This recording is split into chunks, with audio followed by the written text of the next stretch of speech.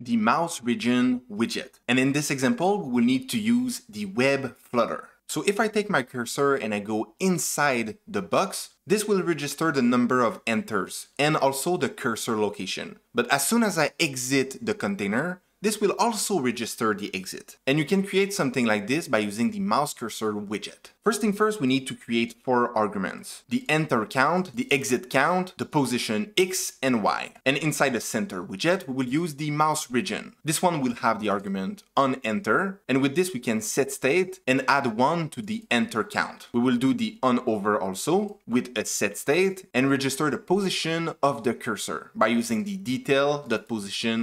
detail.position.x and y. The third one is the onExit. This one will be a set state and we will add the exit count. With this you can create a child container. I will use the color orange and inside we have a column widget with multiple children. The first one will be the text enter count. This will register how many times we enter inside the widget. You can also add the text exit, which will use the exit count. And finally, the text cursor. This will have the X position dot to string and the Y position dot to string. And just like this, you have used the mouse cursor widget to register the number of enter and exit inside the widget.